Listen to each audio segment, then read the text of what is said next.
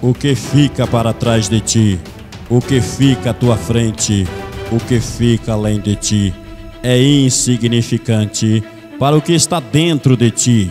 E agora é o momento de mostrar o que está dentro de ti, o prazer de pedalar. Nem todos entendem o empenho, o sacrifício, a paixão. Tu sabes por que o fazemos. A dor, o sofrimento, a velocidade, a vitória, a glória. Se um com a bicicleta. Nunca desistas. Aprecie a viagem. Deixe-te levar. Vive o momento. Vive a tua paixão. Vive os teus sonhos. Vive a tua vida.